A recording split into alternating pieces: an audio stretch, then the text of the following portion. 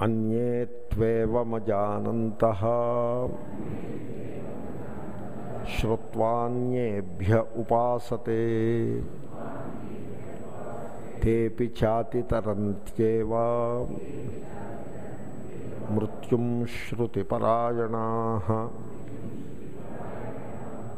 మనం విస్తారంగా చర్చించినటువంటి క్షేత్రక్షేత్రజ్ఞ క్షేత్ర క్షేత్రజ్ఞ వివేకము గలదో అనగా ఆత్మ అనాత్మ వివేకము గలదో ఆ వివేకమును అనుభవానికి తెచ్చుకుని మానవుడు కృతార్థుడు కావచ్చును జీవన్ముక్తుడు కావచ్చును అని మనం చూసి ఉన్నాము. ఆ వివేకము ఆత్మ అనాత్మ వివేకము అనుభవమునకు వచ్చుట. దానికే ఆత్మ సాక్షాత్కారము అని అంటారు. దానికే ఆత్మజ్ఞానము లేక బ్రహ్మజ్ఞానము అని కూడా దానికే పేరు. ఆ వివేకానుభవానికే ఆ పేరు. అటువంటి ఆత్మజ్ఞానము కలిగే ఉపాయం ఏమి అని మనం క్రితం శ్లోకంలో చూసి ఉన్నాము. దానికి మూడు ఉపాయాలను ప్రస్తావించినారు. మొదటిది ధ్యానయోగము. రెండవది సాంఖ్యయోగము. మూడవది కర్మయోగము. ధ్యానయోగము వీటికి దృష్టాంతాలే చెప్పాల్సి వస్తే ధ్యానయోగము అంటే రమణ మహ భగవాన్ రమణ మహర్షి నిసర్గదత్త మహారాజ్ మొదలైనటువంటి ఆత్మ నిష్ఠులను మనం అధు అర్వాచీన కాలంలో దృష్టాంతాలుగా చెప్పవచ్చును. సాంఖ్యయోగము అంటే ఆత్మానాత్మ వివేకాన్ని నిరంతర శ్రవణ మననముల ద్వారా సాధన చేసినటువంటి మహాత్ములు ఎంతోమంది లెక్కకు మించిన మహాత్ములు ఆ సాంఖ్యయోగాన్ని అంటే శ్రవణ మననములను బాగా అధ్యయనం చేస్తూ అభ్యాసం చేస్తూ ధ్యానాన్ని కూడా దానికి జోడించుకుని సాధన చేసిన మహాత్ములు ఎంతో మందిని మనం ఎరుగుదుము ఎరుగుదుము. వారు సాంఖ్యయోగులు. జ్ఞా ధ్యానయోగము సాంఖ్యయోగము కొంచెం క్లిష్టమైనది ఎందుకంటే జనులు ఆ కర్మానుష్ఠానం చేయడానికి ఉత్సాహాన్ని చూపిస్తారు తప్ప జ్ఞానము ధ్యానము అంటే అక్కడి నుంచి పారిపోతారు. ఇప్పుడు మీరు కుంకుమ పూజ లలితా సహస్రనామ పారాయణ అంటే మొత్తం సికింద్రాబాద్ అంతా ఇక్కడే ఉంటుంది. ఏమండి? సాంఖ్యయోగము అంటే పట్టుమని పది మంది ఉంటే గొప్ప. నిజానికి చాలామంది విద్యార్థులు ఉన్నారని నేను పొంగిపోతూ ఉంటా. అమ్మ బాబో ఇంతమంది విద్యార్థులు ఉన్నారు. కాబట్టి సో ఇంకా ధ్యానము. ధ్యానం అనేప్పటికీ పరిస్థితి మరీ అధ్వానంగా ఉంటుంది. చాలా ఎవరు ధ్యానం చేయడానికి ఉత్సాహాన్ని చూపరు. ఏదైనా కీర్తన చేసి చేయడానికి చాలా ఉత్సాహంగా ఉంటారు. కీర్తన. చక్కగా తబలాలు రెండు సెట్ల తబలాలు పెట్టుకుని హార్మోని వీణ ఇలాంటివి కూడా పెట్టేసుకుని మంచి గుడ్ నెంబర్ ఆఫ్ ఆర్కెస్ట్రా పెట్టేసుకుని కీర్తన చేయరా అంటే ఓ అద్భుతంగా కీర్తన చేస్తారు. చప్పట్లు కొడుతూ కీర్తన చేయమంటే గోపాల గోపాల అంటూ చాలా అద్భుతంగా కీర్తన చేస్తారు. దానికి మన మనిషి యొక్క ఉత్సాహం చాలా బాగా బాగా ఉంటుంది. ఉత్సాహజనకంగా ఉంటుంది. అదే కళ్ళు మూసుకుని నిటారుగా కూర్చుని కళ్ళు మూసుకుని మీ మనస్సులో ఉండే సంకల్పాలన్నిటినీ జారవిడిచి శిలాప్రతిమ వలె ఉండాలి.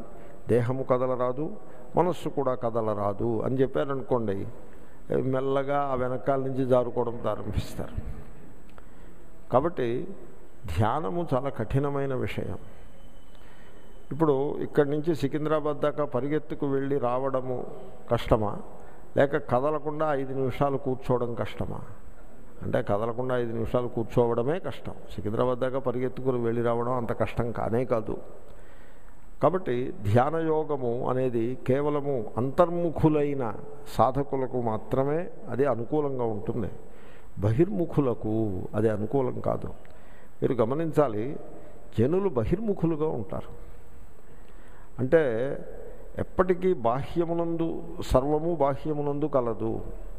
ఆనందం బాహ్యంలో ఉన్నది సుఖము బాహ్యంలో ఉన్నది. మనకి ఉత్సాహం కలగాలంటే బాహ్యము నుండి మనకి ఆ ఇన్పుట్ ఉంటేనే మనకి ఉత్సాహము ఉల్లాసము కలుగుతాయి. బాహ్యంలో పరిస్థితులు అనుకూలంగా లేకపోతే మనకు ఉత్సాహం ఉండదు ఉల్లాసం ఉండదు. ఉదాహరణకి ఇండియా క్రికెట్ మ్యాచ్ నెగ్గకపోతే మనకు ఉత్సాహం ఉల్లాసం ఉండదు. వాళ్ళు నెగ్గితే మనకు ఉత్సాహం ఉల్లాసం ఉంటుంది వాళ్ళు ఎప్పుడూ నెగ్గేస్తూ ఉండాలి. ఇంకా పెర్మనెంట్గా ఇంకా అన్ని మ్యాచ్లు వాళ్ళే నెగ్గేయాలి. నెగ్గేస్తే మన ఉత్సాహం అలా ఉంటుంది. వాళ్ళు పొరపాటున ఒక్క మ్యాచ్ ఓడిపోయారనుకోండి మనం నీరు గారిపోతూ ఉంటాం. జనులు బహిర్ముఖులుగా ఉంటారు. ఇక దేవుడి దగ్గరికి రండి. దేవుడు యొక్క బయట ఉన్నాడు. ఎక్కడున్నాడు? తిరుపతిలో ఉన్నాడు లేకపోతే రామేశ్వరం ఎక్కడో అక్కడ మొత్తానికి ఎక్కడికో అక్కడికి వెళ్ళిపోతూ ఉండాలి. అయితే మన ఊళ్ళో దేవాలయం మీద పెద్ద శ్రద్ధ ఉండదు. తిరుపతి వెళ్ళేసి రావాలి. తిరుపతితో కూడా సరిపెడితే అది కొంతవరకు బాగానే ఉంటుంది. అది కూడా కాదు. హిమాలయాలకు వెళ్ళిపోవాలి. హిమాలయాలతో కూడా సంతృప్తి కలగదు. టిబెట్ మానస సరోవరానికి వెళ్ళిపోవాలి. ఇక ఆర్కిటిక్కి వెళ్ళిపోవాలి అంటే ఇంకా అదొక్కటి మిగిలి ఉంది తీర్థయాత్ర. ఆర్కిటిక్లో మేరు పర్వతం అనేది ఉంటుంది అని కొంచెం గట్టిగా కనుక ప్రచారం చేస్తే అది కూడా ఆరంభం. అయినా మనం ఆశ్చర్యపడక్కర్లేదు. సో ఆ విధంగా జనులు తీర్థ బహిర్ముఖులుగా ఉంటారు. ఈశ్వరుని విషయంలో కూడా బహిర్ముఖులుగా ఉంటారు. ఈశ్వరుని ఆరాధించడానికి పూజాధికము మాత్రమే ఏకైక సాధనము అని అనుకుంటారు. అది కూడా బహిర్ముఖులుగా ఉంటారు. ఈశ్వరుడు బయట ఉంటాడు ఈశ్వరుని ఆరాధించే ప్రక్రియ అంతా బయట ఉంటుంది ఆరాధించే ద్రవ్యములన్నీ బయట ఉంటాయి చేసే కర్మకలాపం అంతా కూడా క్రియాకలాపం అంతా బాహ్యమునందు ఉంటుంది ఎవ్రీథింగ్ ఈజ్ అవుట్ సైడ్ ఇంకా మరి లోపల ఏముంది? ఏమీ లేదు. డొల్లా ఇది జనుల యొక్క స్వరూప స్వభావం ఇటువంటిది. ఇటువంటి స్వభావంలో ఉన్న జనులకు ధ్యానయోగము సుతరాము ఉపకారకము కాదు. వాళ్ళకు ఉపకరించద్దు అది. తర్వాత జనసామాన్యంలో చెప్పిన పని చేయటానికి సిద్ధంగా ఉంటారే తప్ప మీరు స్వంతంగా ఆలోచించి తెలుసుకోండి అంటే దానికి సిద్ధపడరు జనసామాన్యంలో. ఫాలోయర్స్ జనులు ఫాలోయర్స్గా ఉంటారు. ఎవడో ఒకడు దారి చూపిస్తే వాడు వెనకాల వెళ్ళిపోదామని ఆలోచిస్తారే తప్ప మనము పరిశీలించి పరిశోధించి ఆలోచించి విమర్శ చేసి మనము మనంతట స్వయంగా తెలుసుకుందాము అనే దృష్టి ఉండదు. అసలు అటువంటి ఆలోచన చేయరు. ఫాలోయర్స్ ఫాలో అవుతారు. కావలిస్తే ధనాన్ని ఇవ్వమంటే ఇస్తారు. చెప్పిన పని చేయమంటే చేస్తారు. ఇన్ దట్ ఆర్డర్ అంతేగాని మీ అంతటా మీరే తెలుసుకోండి అంటే మటుకు ఉండరు ఆ దరిదాపుల్లోకి రారు. జనులు జిజ్ఞాసువులు కారు చికీర్షువులే తప్ప జిజ్ఞాసువులు కారు. ఏదైనా పని చెప్తే చేయడానికి మీరు అందరూ రామనామం రాసేసి ఒక్కొక్కళ్ళు వెయ్యి సార్లు రామనామం రాసి రేపు సాయంకాలానికి పట్టుకురండి అంటే కట్టలు కట్టలు వచ్చేస్తాయి. మీరందరూ కదలకుండా కూర్చోండి రామనామ జపం ధ్యానం నేను మీ చేయిస్తానంటే మళ్ళీ జారిపోతారు. అసలు రామనామము యొక్క మహిమను ఆ స్వీట్నెస్ ఆ మాధుర్యమును మీరు మీ హృదయంలో మీ అంతటా మీరు సాధన చేసి సాక్షాత్కరించుకో ఆవిష్కరించుకోవాలి అని చెప్పామనుకోండి అక్కడి నుంచి పారిపోతారు. రామనామం రాయమంటే రాస్తాం కానీ ఈ సాక్షాత్కారములు ఆవిష్కారములు మా వల్ల అవ్వవు అనే ధోరణిలో జనులు ఉంటారు. కాబట్టి ఫాలో అవటానికి సిద్ధంగా ఉంటారే తప్ప తామంత తాము తమంత తాము ఆలోచించి విమర్శ చేసి తెలుసుకునే దృష్టి లేని జనులకు సాంఖ్యయోగము బహుదూరము. అది వారికి అనుకూలం కాదు. సాంఖ్యయోగం అనేది శాస్త్రాన్ని చాలా లోతుగా అధ్యయనం చేసి పరిశీలించి వారికి మాత్రమే అది అనుకూలంగా ఉంటుంది. డిస్కవరీకి అనుకో డిస్కవరీ ఉత్సాహం గలవాడికి పనికొస్తుంది తప్ప ఫాలోయర్ అనే దృష్టిలో ఉన్నవాడికి సాంఖ్యయోగం పనికిరాదు. ఇక కర్మయోగము. కర్మయోగము జనులకు ఎంతయో ఉపాధేయము. బహిర్ముఖులుగా ఉండి సాంఖ్యయోగాన్ని అనుష్ఠించేటువంటి ఆ బుద్ధి సూక్ష్మత్వ సూక్ష్మత సూక్ష్మ బుద్ధి లేని వారికి కూడా కర్మయోగము చాలా అనుకూలము. కర్మయోగంలో ఎందుకంటే జనులు జిజ్ఞాసువులు కాదు చికీర్షువులు. కాబట్టి కర్మయోగం చాలా యోగ్యంగా ఉంటుంది. కానీ కర్మయోగంలో అత్యంత ప్రముఖమైన సూత్రము. అసలు మీరు కర్మయోగం అనగానే మీ ముందుకు వచ్చేటువంటి సూత్రము. మీరు సుతరాము స్వార్థబుద్ధి లేకుండా కర్మను చేయాల్సి ఉంటుంది. ఏ కోశాన ఫలాపేక్ష లేకుండా ఈశ్వరుణ్ణి ఆరాధించాల్సి ఉంటుంది. ఆ మాట చెప్పేప్పటికీ మళ్ళీ జనులు పారి చక్కపోతారు ఏదో దేవుణ్ణి పూజించడం అంటే ఏదైనా లాభం ఉంటే పూజిస్తాం కానీ ఏ లాభము లేని పని మేమెందుకు చేయాలి? అన్నట్టు ఉంటారు దీనికి దృష్టాంతంగా నేను ఒక ఘటన చెప్తూ ఉంటా. ఇప్పుడు కర్మయోగం అనేప్పటికీ జనుల యొక్క దృష్టి జనులకు అది అనుకూలం జనులు ఇష్టపడరు అన్న దానికి దృష్టాంతంగా నేను ఈ కథ చెప్తూ ఉంటా. ఒకసారి ఒక సభ అయింది.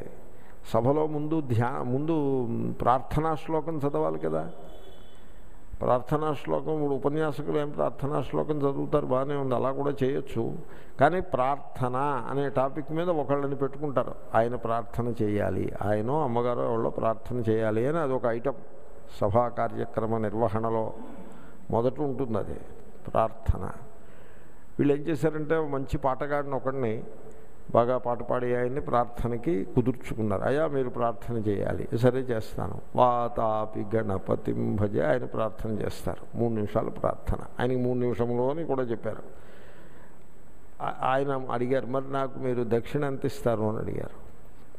పూర్వకాలం రోజుల్లో. అంటే ఒక రూపాయి మేము ఇస్తాము. సరే. ఆయన ప్రార్థన ప్రార్థన అనగానే భక్తులందరూ సమావేశమై ఉన్నారు. ప్రార్థన ఫలానా వారు ప్రార్థన చేస్తారు అని ఆయన మైక్ ఇచ్చారు ఆయనకి. ఆయన వాతాపి గణపతి భజే మొత్తానికి ఎలా అయితేనే ప్రార్థన మూడు నిమిషాల్లోనూ ముగించి నా రూపాయి ఇది ఇవ్వండి అని అడిగారు. అసలు ముందే ఇవ్వాలి వీళ్ళు. ప్రార్థన అయ్యాక ఇస్తామని అనడం వీళ్ళది కూడా తప్పే.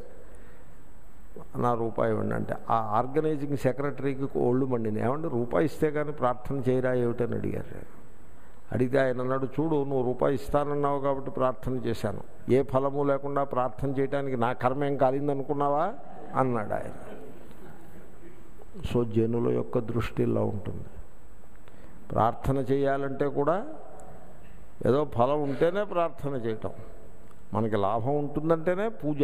లా ఏ లాభం లేని మహాభాగ్యానికి పూజ కూడా ఎందుకు? Waste of energy and waste of materials అన్న అన్నట్టుగా అలా అనరు జనులు. యాస్దో అటువంటి దృష్టిలో ఉన్నట్టుగా ఉంటారు. అలా ఉన్నప్పుడు కర్మయోగము కూడా కష్టమే. ఇంకేం మిగిలిందండి? ధ్యానయోగము పనికి అందుబాటులో లేదు. సాంఖ్యయోగము అందుబాటులో లేదు. కర్మయోగము కూడా కష్టమే.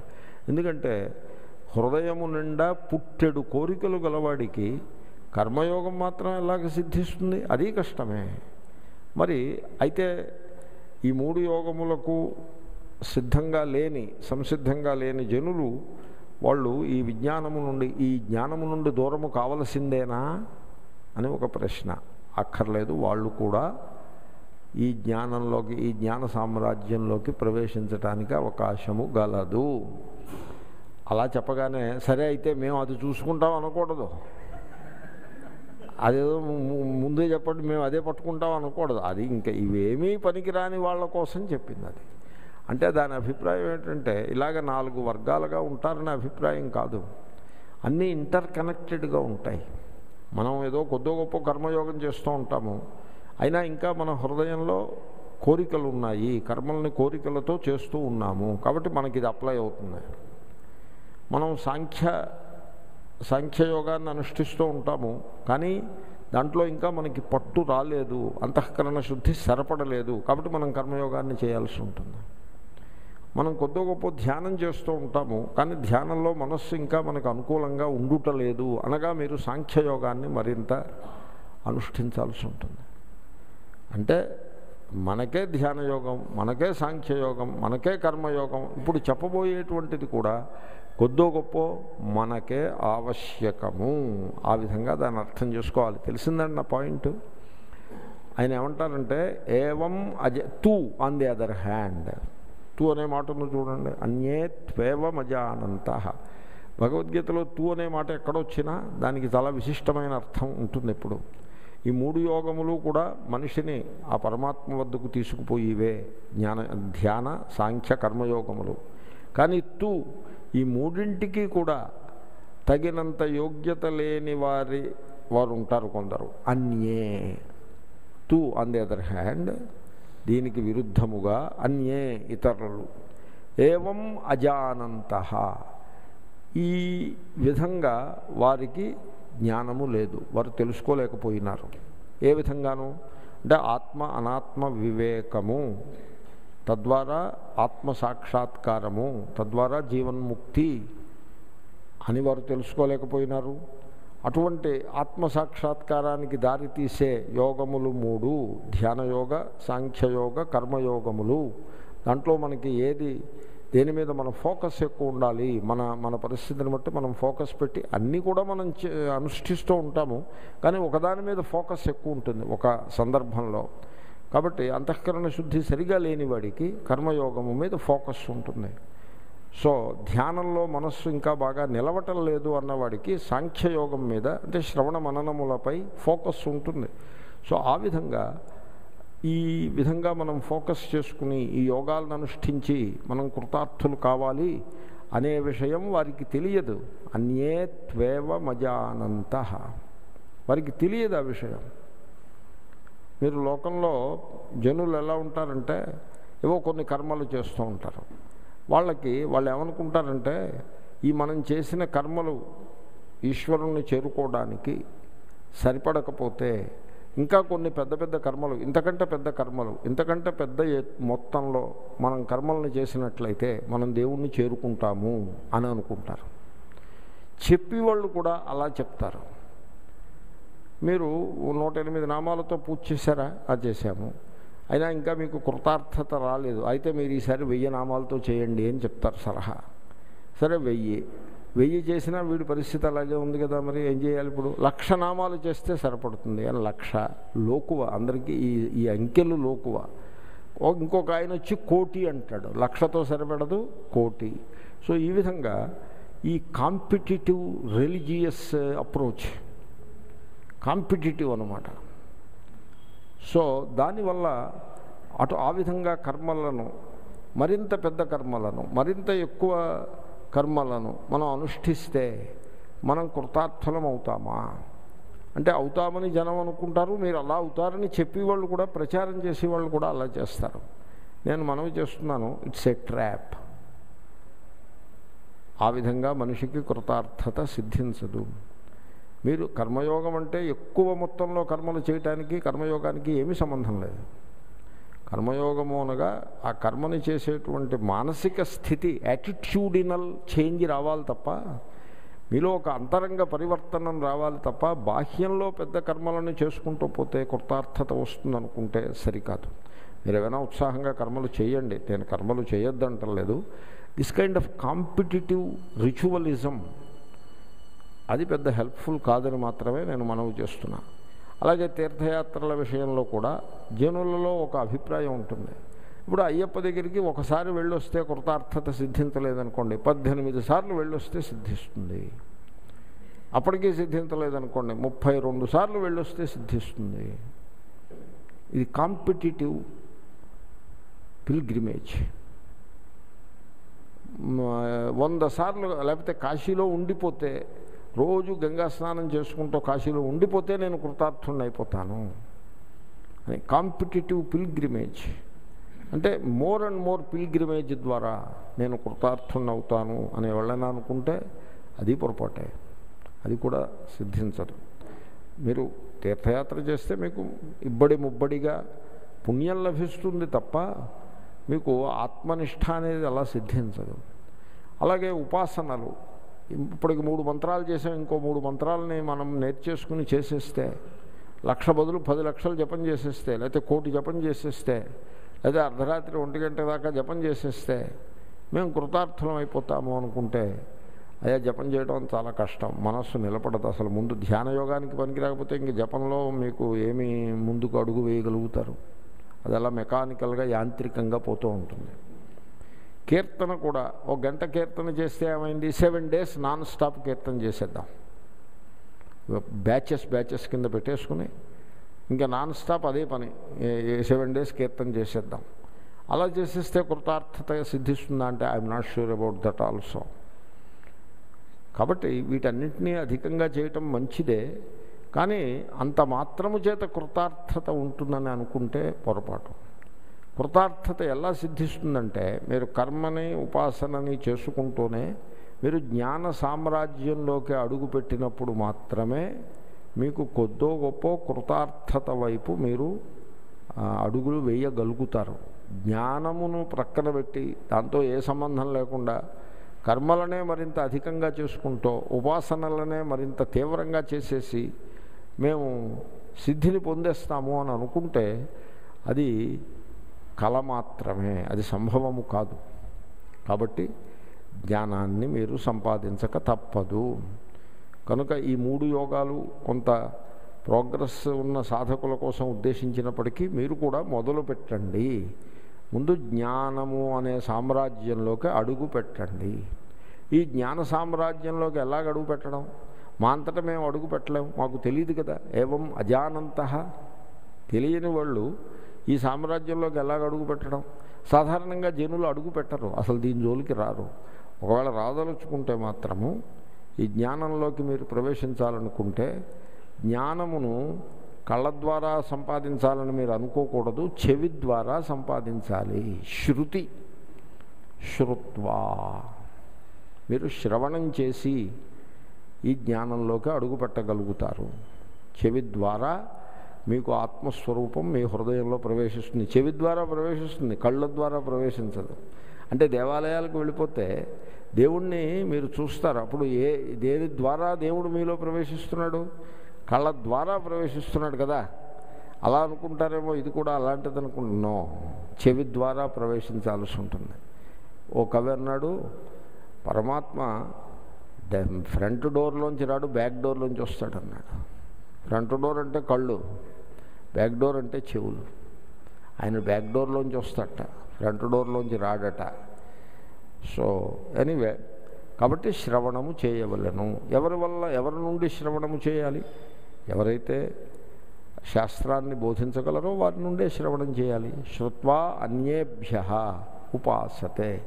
అలా శ్రవణం చేసి వారు బోధించినటువంటి విషయాలను మీరు ఏకాగ్రచిత్తంతో అనుసంధానం చెయ్యాలి.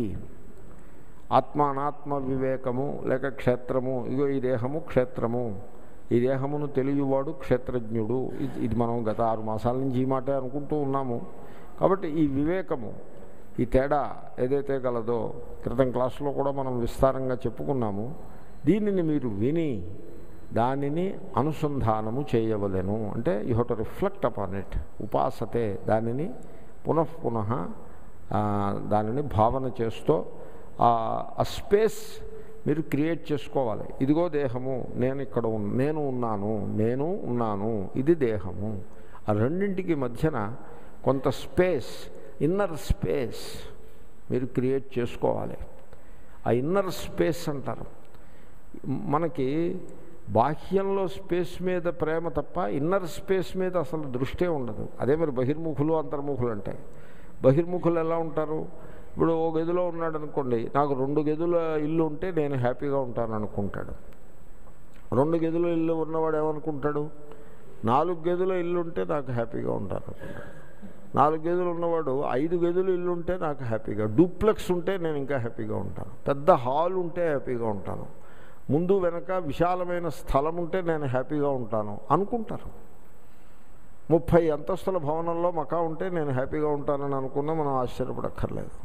అలా అనుకుంటారు.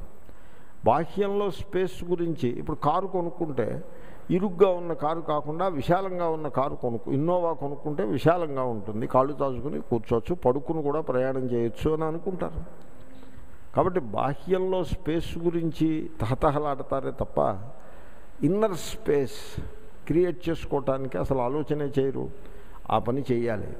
శ్రుత్వ శ్రవణం చేసి దేహము నేను దేహము ఒక స్పేస్ క్రియేట్ చేసుకోవాలి.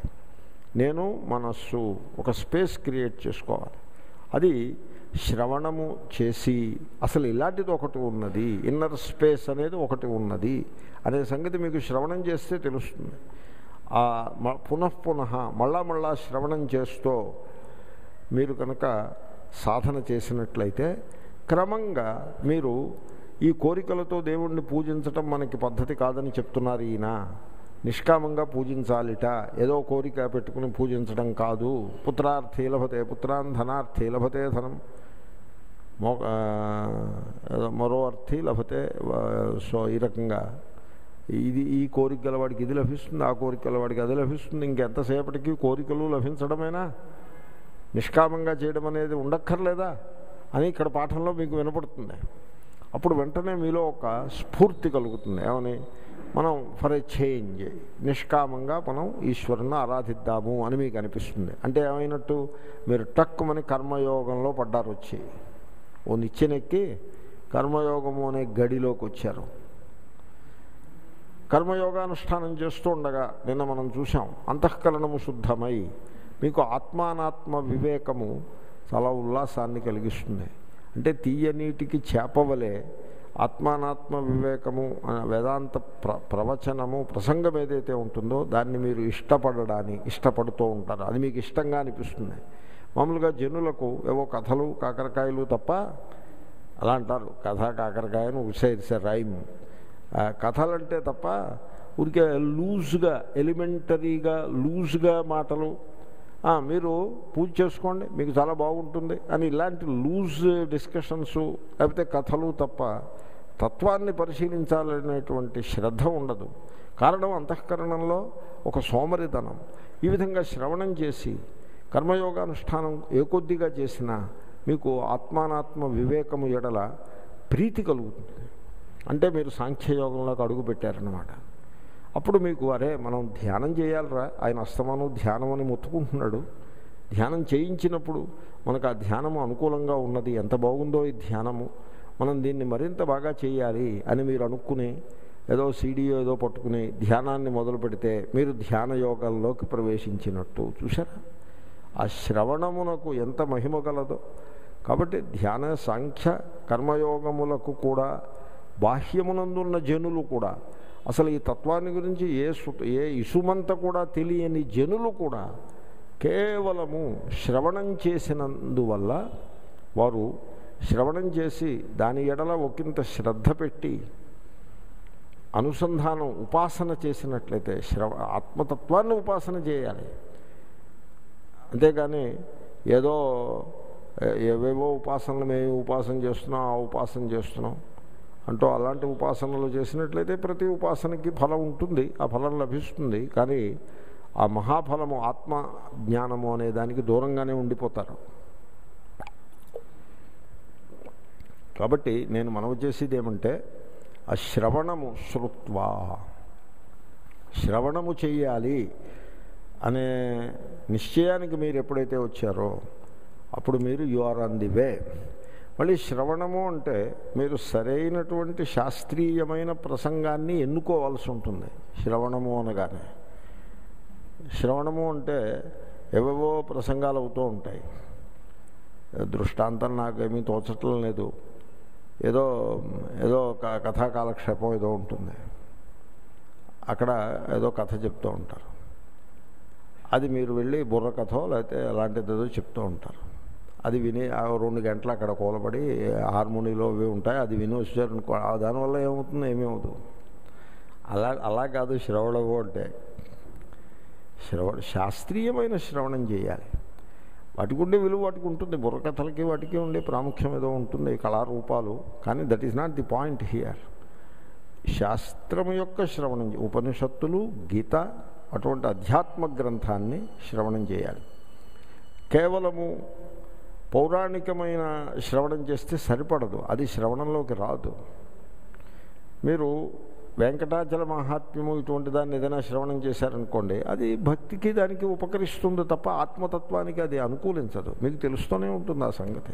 అసలు ఆత్మ అనే మాట ఎక్కడ వినపడదు కూడా అక్కడ. అవి అధ్యాత్మ విద్యలు కావు. కాబట్టి అధ్యాత్మ విద్యను మీరు వెతికి పట్టుకోవాలి. అది మా ఊళ్ళో లేదంటే కుదరదు. మీ ఊళ్ళో అనేకం లేవు. మీరు పక్కన ఉన్న టౌన్కి వెళ్ళిపోయి అవన్నీ కొనుక్కుంటున్నారా లేదా? మీ ఊళ్ళో చందన బ్రదర్స్ లేదు. అలాగని చందన బ్రదర్స్కి వెళ్ళి చీరలు కొండం మానేశారా? ఎక్కడుంటే అక్కడికే వెళ్తారు. కాబట్టి మా ఊళ్ళో లేదు. ఇటువంటి సాకులు పక్క పక్కన పెట్టి మీరు శాస్త్రాన్ని శ్రవణం చేయాల్సి ఉంటుంది. ఏ శ్రవణం చేసేసి అక్కడికి అదేదో ఒక తంతులాగా శ్రవణం చేసి చేతులు కొడుకున్నట్టుగా దాన్ని గాలి కుదిరి గురువైన ఈ చెవిలోంచి వింటే ఈ చెవిలోంచి పోయిందని ఓ సామెత ఉంది. గురోరధీతం గురవే నివేదితం. గురువుగారి వద్ద నుండి అధ్యయనం చేసినటువంటి జ్ఞానాన్ని వారికి ఏదైనా గురుదక్షిణ ఇస్తే బాగుంటుంది కదా కాబట్టి ఆ జ్ఞానాన్నే మళ్ళీ వారికి అప్పచెప్పేసి మన దాన్ని మనం వెళ్ళిపోవడం అన్నట్టుగా కాకుండా ఆ విన్నదాన్ని ఆకళింపు చేసుకుని దాన్ని ఆచరణలో పెట్టి ప్రయత్నం అని ఉపాసన అంటారు. You to stay with it ఉపాసన అంటే స్టేయింగ్ విత్ ఇట్ దాని వద్ద కూర్చుని ఉండుట. దాంట్లో స్థిరమై ఉండుట. ఆ విధంగా మీరు చేసినట్లయితే అటువంటి వారు కూడా ఆ సంసారం అనే సముద్రాన్ని దాటివేస్తారు. తేపి అతితరంత్యేవ. వాళ్ళని కూడా పక్కన ధ్యానయోగులు సాంఖ్యయోగులు కర్మయోగుల్ని మేము మోక్షంలోకి పుచ్చు తీసుకెళ్ళిపోతున్నాము. మిగతా వాళ్ళ కర్మ అంతే. వాళ్ళకి ప్రవేశము లేదు అనే మాట లేదు. వాళ్ళు కనుక శ్రవ శ్రవణం చేయాలి. జ్ఞానాన్ని జ్ఞానము వైపు అడుగులు వేయాలి. అది తప్పదు. మేము మా కర్మలు ఏవో ఉన్నాయండి అవే చేస్తూ ఉంటామండి ఏవో భజనలో ఏవో చేస్తూ ఉంటామండి లేకపోతే ఏదో ఉపాసన ఉంది. ఈ దేవత ఆ దే ఆ దేవత అంటూ ఏవో ఉపాసనలు ఉంటాయిగా.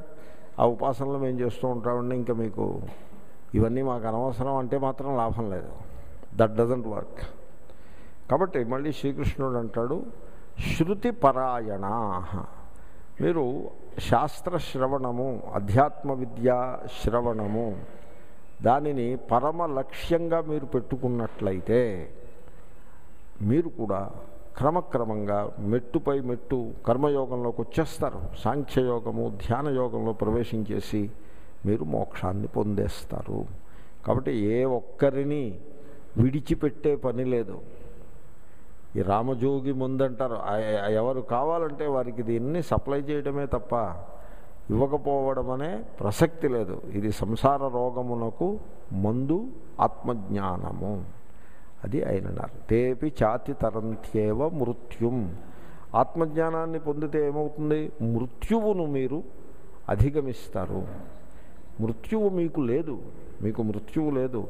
మీరు ఆ విషయాన్ని తెలుసుకోవాలి. భగవద్గీత ఏవో చిన్న చిన్న కోరికలను సంపో- తీర్చుకోవడం కోసం వచ్చింది కాదు. మాకు డబ్బు లేదు ఏం చేయాలండి భగవద్గీత చదివితే డబ్బు వస్తుందా? అయితే భగవద్గీత పారాయణ చేస్తే ఉద్యోగం వస్తుందా?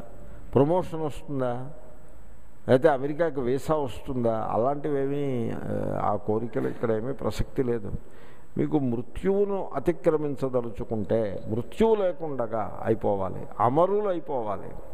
ఇమ్మోర్టాలిటీ అనే పరమ లక్ష్యాన్ని మీరు ఎంచుకున్నట్లయితే శాస్త్రశ్రవణము మీకు చక్కటి ఉపాయము అని ఆ శ్లోకం చెప్తోంది. భాష్యం చూద్దాము. అన్యేతూ. దీనికి భిన్నంగా మిగిలిన వారు అంటే అంటే ఎవరవుతారు ఏషు వికల్పేషు అన్యతరేణ అపి ఏం యథోక్తం ఆత్మానం అజానంత. మూడు వికల్పములు చెప్పారు. అంటే మూడు దారులు మనకి చెప్పారు. ధ్యాన సాంఖ్య కర్మయోగములు. వీటిలో ఏ ఒక్కటి పట్టుకున్నా మీరు ఆత్మస్వరూపాన్ని తెలుసుకోగలుగుతారు. ఈ వీళ్ళు ఇతరులు ఎవరైతే ఏ జనుల గురించి మనం మాట్లాడుతున్నామో వాళ్ళు ఈ మూడింటిలో ఏ ఒక్కదాన్ని పట్టుకోలేదు వాళ్ళు.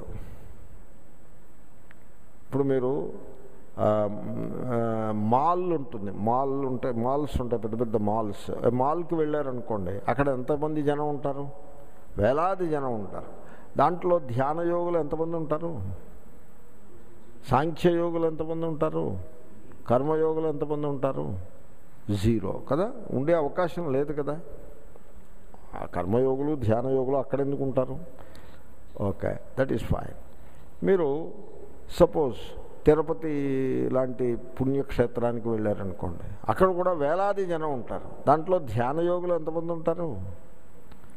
సాంఖ్యయోగులు కర్మయోగులు ఎంతమంది ఉంటారు? అక్కడ ఉండరు. ఇది అది విడ్డూరం. ఇప్పుడు మాల్లులో ఉండకపోవడం ఆశ్చర్యం కాదు.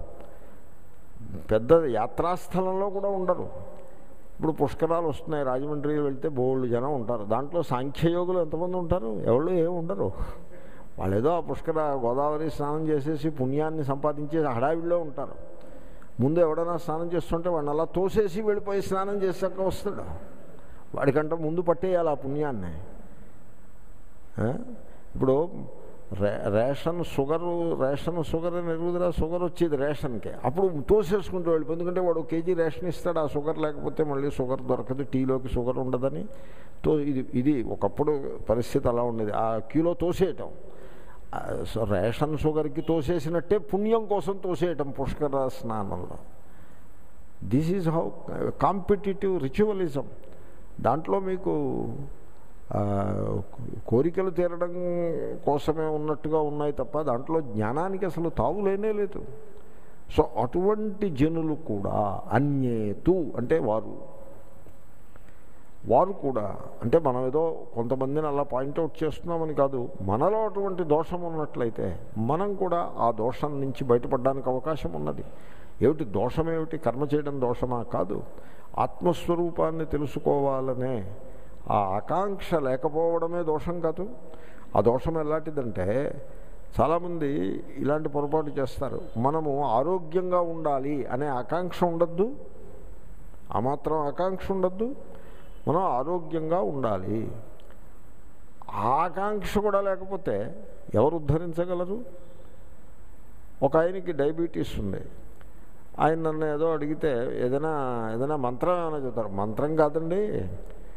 ముందు మీరు ఆహారంలో మార్పు చేయండి. ఈ అంటే ఏం మార్పు చేయమంటారు? ఇగో ఈ మార్పు చేయండి. ఆయన నేను చూసి చెప్పిన మాట ఈ మార్పు చేయండి. మీ డయాబెటీస్ తగ్గేందుకు అవకాశం వస్తుంది. అంటే ఆయన అంటారు అబ్బే అది నేను మార్చలేనండి అంటారు. నా what I can do about it ఈ ఎక్సర్ ఈ యోగా అభ్యాసం చేయండి. ఈ సూర్య నమస్కారం చేయండి. మీకేమో అనారోగ్యం తగ్గిపోతుందంటే అబ్బే మా వల్ల పొద్దున్న నేను ఆ టైంలో నేను నిద్రలేచి టైం కాదండి అంటాడు. శనివారం సాయంకాలం క్లాసుకి రండి అబ్బాయి ఆ టైం మాకు అనుకూలం కాదండి అంటాడు. Therefore he doesn't want to become healthy ఇంకా how can you help the guy అలాగే ఈ కర్మలు ఇవే చేసుకుంటాం తప్ప మాకు ఆత్మజ్ఞానం అక్కర్లేదు అన్నవాడిని మీరు ఏం చేయగలుగుతారు? ఏమీ చేయలేరు. కానీ ఓపెన్ మైండ్ ఉండి మీరు కర్మాది చేసుకోండి మీ ఉపాసన మీ తీర్థయాత్రలు దానాలు ధర్మాలు మీరు చేస్తూనే ఉండండి. వాటిని వేటిని మానేయనక్కర్లేదు నిజానికి వాటన్నిటినీ కూడా కర్మయోగం కింద తీర్చిదిద్దుకోవడానికి అవకాశం ఉన్నది. మీరు జ్ఞానాన్ని సంపాదించాలి. అది మన మన జీవితంలో అది కొరత ఉండిపోయింది. డబ్బు సంపాదించాం భోగాలు అనుభవించాం. ఎంతో కొంత పుణ్యకర్మలు తీర్థయాత్రలు దానాలు ధర్మాలు కూడా చేసినాము కానీ జ్ఞానం ఏమిటో మనకింత దాకా వంటబట్టలేదు. దిస్ ఈ లోటు ఇలా ఉండడానికి వీరు లేదు అని నిశ్చయించుకున్న వాళ్ళ గురించి మనం మాట్లాడుతున్నాము. ఆత్మస్వరూపము గురించి సుతరాము తెలియని వారు అజానంత. వాళ్ళు ఏం చేయాలి? అన్యేభ్య ఆచార్యేభ్య శ్రుత్వా. వారు ఆచార్యుల నుండి వినాలి. ఇతరుల నుండి వినాలి అంటే ఎవడో మీ మిత్రున్నో ఎవడో పట్టుకుని వాడిని వాడు చెప్పడం మీరు వినడం అలా కాదు. ఆచార్యుని దగ్గర నుంచి వినాలి. ఆచినోతి చ శాస్త్రార్థం. ఆచార్యుడు అనగా శాస్త్రం యొక్క తాత్పర్యాన్ని చక్కగా విడమరిచి చెప్పువాడు. అటువంటి ఆచార్యుల నుండి బహువచనం. ఎవరో ఒక్కళ్ళ దగ్గరే వినాలని ఏం లేదు. ఎంతమంది మహాత్ములు చెప్పినా వినదగును వినదగునెవ్వరు చెప్పినా.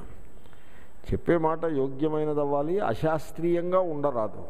అశాస్త్రీయంగా ఉండరాదు శాస్త్ర విరుద్ధంగా చెప్పకూడదు. కాబట్టి ఆ, వినదగును ఎవరు చెప్పినా అంటే ఇంక ప్రతిదీ విని ఇంక మా మొత్తం మార్కెట్లో ఎంతమంది ఉంటే అంత విని అలా కాదు. వినదగును ఎవరు చెప్పినా అనే సుమతి శతకకారుడు వచనానికి అభిప్రాయం ఏమిటంటే ఎవరు చెప్పినా మంచి మాట వినదగును అని అర్థం దానికి. కాబట్టి ఆచార్యుల నుండి మీరు శ్రవణం చేయాలి. వారు చెప్తారు ఏమని చెప్తారు? ఇదమేవ చింతయత ఇది ఉక్తా వారు చెప్తారు అయ్యా మీరు ఈ వివేకాన్ని అభ్యాసం చేయండి. దేహము ఎడల ఈ స్పేస్ని ఒకదాన్ని మీరు క్రియేట్ చేసుకోవాలి. దీనికోసం మీరు ఉపనిషత్తుల్ని చదవండి భగవద్గీతని వినండి ధ్యానం చేయండి అనేదో చెప్తారు అలాగా. దీన్ని మీరు బాగా రిఫ్లెక్ట్ చేయండి. చింతయత మీరు చింతన చేయండి. ఏదైనా ఒక మంచి గ్రంథం శ్రీ రామకృష్ణాస్ గాస్పెల్ తీసుకోండి. దాన్ని మీరు రోజుకు రెండు పేజీలు చదవండి. చదివి దాంట్లో చెప్పిన విషయం మీద మీరు విచారం చేసుకోండి. మీలో మీరు ఏకాంతంలో ఉండండి. ఆత్మనిష్ఠులై ఉండు మీలో మీరు రిఫ్లెక్ట్ చేసుకుంటూ ఉండండి అని చెప్తారు. ఆ చెప్పిన దాన్ని వీళ్ళు ఏం చేయాలి? ఉపాసతే శ్రద్ధధానా సంత చింతయంతి. చక్కటి శ్రద్ధ కలవారై ఆ మహాత్ములు బోధించినటువంటి ఆ తత్వాన్ని శ్రద్ధతో వారు చింతనము చేస్తారు. మీరు ఓం నమ శివాయ అనే మంత్రాన్ని మీరు ఈ పద్ధతిలో మీరు ధ్యానం చేయండి అని చెప్పారనుకోండి. ఆ సంఖ్య పూరడం గురించి చూడొద్దు. మనస్సు యొక్క ఏకాగ్రత లక్ష్యంగా పెట్టుకుని ఈ పద్ధతిలో మీరు ఆ శబ్దమునే శబ్దం మీదనే మనస్సును ఫోకస్ చేస్తూ ఒక మంత్రానికి మరో మంత్రానికి మధ్యలో ఉండేటువంటి గ్యాప్ సైలెన్స్ ఏదైతే కలదో దాని మీద మీరు మనస్సును ఏకాగ్రం చేస్తూ మీరు ఈ జపం చేయండి అని చెప్పారనుకోండి అది చేస్తారు. దానివల్ల ఏమవుతుంది? ధ్యాన యోగానికి మనస్సు చక్కగా తయారీ అవుతుంది. కాబట్టి ఎటువంటి సాధనను ఉపదేశించినప్పటికీ ఆచార్యులు ఆత్మజ్ఞానము వైపు దారి తీసే సాధనలను ఉప ఉపదేశిస్తారు. ఆ మనిషి యొక్క సందర్భాన్ని బట్టి ఉపదేశిస్తారు. ఆ ఉపదేశాన్ని అందరికీ ఒకే రకంగా ఉండదు ఉపదేశం. వారి వారి స్థాయిని బట్టి వారి వారి మానసిక స్థితిని బట్టి ఆచార్యుడు వేరువేరు ఉపా వేరువేరు సలహాలను చెప్తారు. ఒక వ్యక్తికి వ్యక్తికి బట్టి మారుతుంది. ఓ మహాత్ములు ఉండేవారు. ఓ సమయం అయింది నేను ఇంకా గమనించలేదు. ఈ కథ మళ్ళీ క్లాసులో చెప్తాను. కాబట్టి ఆ మహాత్ములు చెప్పినటువంటి ఉపదేశాన్ని మనం స్వీకరించి చింతనము చేయవలెను. చింతనము చేయుట అంటే ఏకాంతంలో ఉంటూ ఆ ఉపదేశముపై మనస్సును పెట్టి కొంత అధ్యయనము చేయుట ధ్యానము చేయుట అలా చేయవలెను. అలా చేసినట్లయితే ఏమీ తెలియదనుకున్న వారు కూడా ఆ మృత్యువును అతిక్రమించి మోక్ష సామ్రాజ్యాన్ని జీవన్ముక్తిని పొందగలుగుతారు. ఈ శ్లోకాన్ని మనం మళ్ళీ క్లాసులో పూర్తి చేద్దాం. ఓం పూర్ణమద పూర్ణమిదం పూర్ణాత్ పూర్ణముద్యతే పూర్ణస్ పూర్ణమాదాయ పూర్ణమేవాశిష్యతే ఓం శాంతి శాంతి శాంతి ఓ